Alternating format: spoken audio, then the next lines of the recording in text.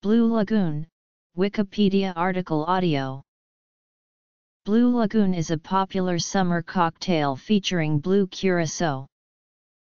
One variation adds a dash of lime cordial to the mix. Another variation with a dash of raspberry cordial is known as a fruit tingle, after the candy available in some countries.